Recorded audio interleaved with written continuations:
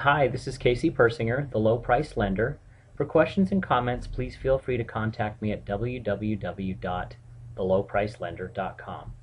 Today I wanted to take a moment and discuss uh, again why you should go with a broker like myself as opposed to your local credit union bank or lender. Choices and options, plain and simple. I met today with at their house, so I make house calls, uh, some clients who were turned down from a lender.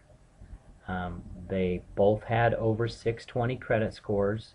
We're doing a VA loan for them. They had a couple glitches on their credit um, with easy explanations.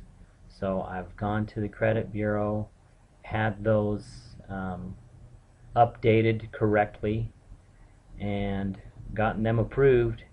And I'm going to now have them meet with one of my preferred agents and get them in the right direction towards purchasing a home.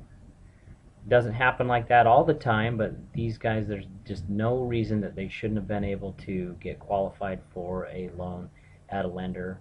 I'm just glad I was able to help them. Uh, I can help you too. Uh, good credit, bad credit, great credit. Give me the opportunity to try to help you. Thanks.